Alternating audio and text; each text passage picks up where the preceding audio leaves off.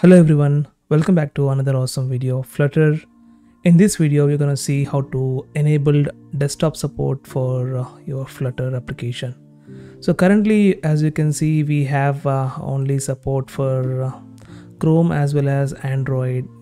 And you also can see that uh, we only have iOS, Android as well as uh, web folders. But um, we would also want uh, desktop folders like my Windows folder also as I'm in Windows so I would like to enable Windows also for my application. So for that just uh, open Windows PowerShell and search for flutter doctor as always is a command. So it will give you all the details about your flutter version and other stuff. So currently I am in a stable version which is of 2.5.2 and uh, as per the documentation flutter said that uh, desktop support is available for uh, stable version but you need to enable it manually using the following command.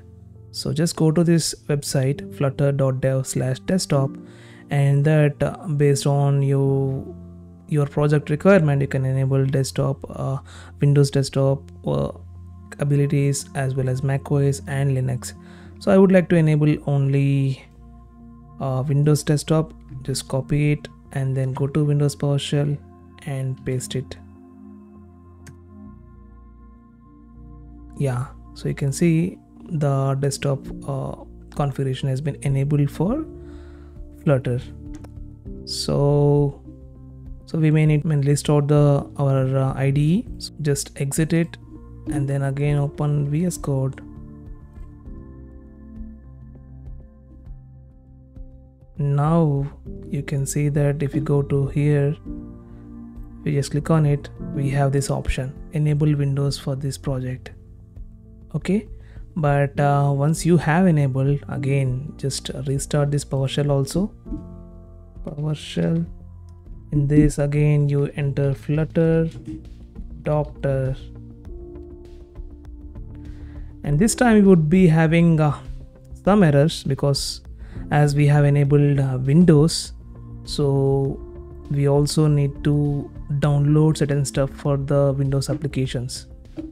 So you can see that uh, visual studio is not installed. This is necessary for windows development.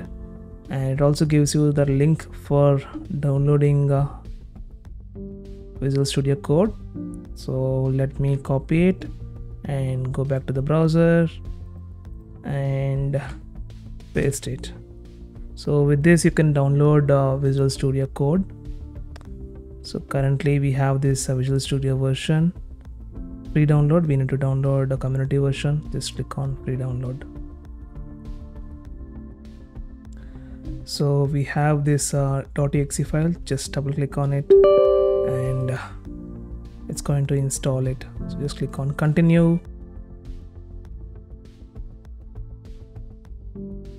now in this we would like to enable uh,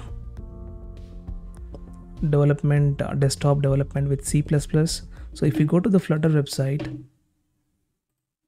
and uh, and also this PowerShell it says that uh, please install the desktop development with C++ so that is the reason when you're installing Visual Studio Code please make sure to select this option desktop development. Okay and uh, if you want to build this is for uh, uh, we have uh, this uh, MAUI I think. MUI from Microsoft. So that is it. So please check this option. And then once you feel that um, everything looks good then just click on install. So as you can see it is around uh, it takes time to install all of this in your system. So just sit back and enjoy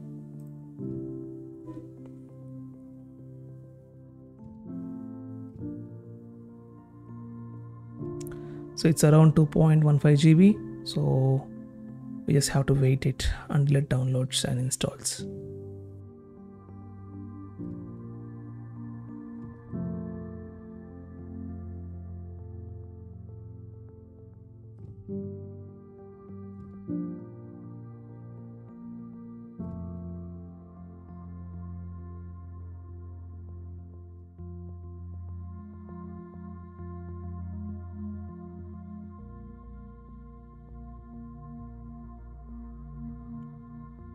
so it is going to ask you to reboot but uh, I just want to restart it after some time. Just click on cancel and uh, just click on close. Now let's hit the command again. Flutter doctor.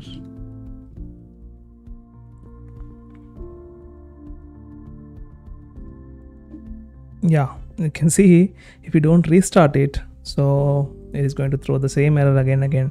So it's good to restart the system. So i'll be back after a moment. System has been restarted now.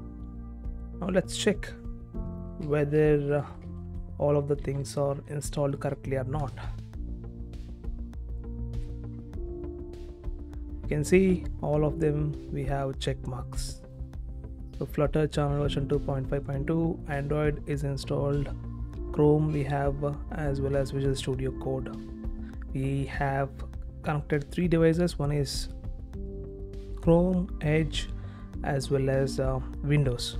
So let me open the same application that uh, we had installed previously.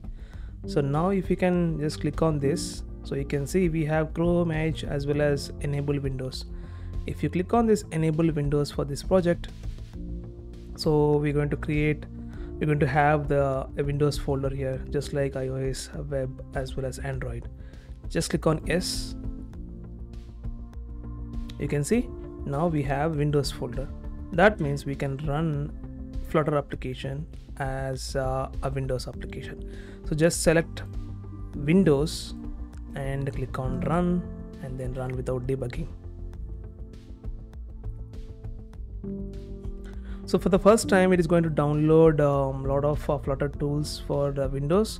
So it is going to take time for the first time when you have installed this uh, visual studio code. But for the other applications that you're going to create is not going to take much time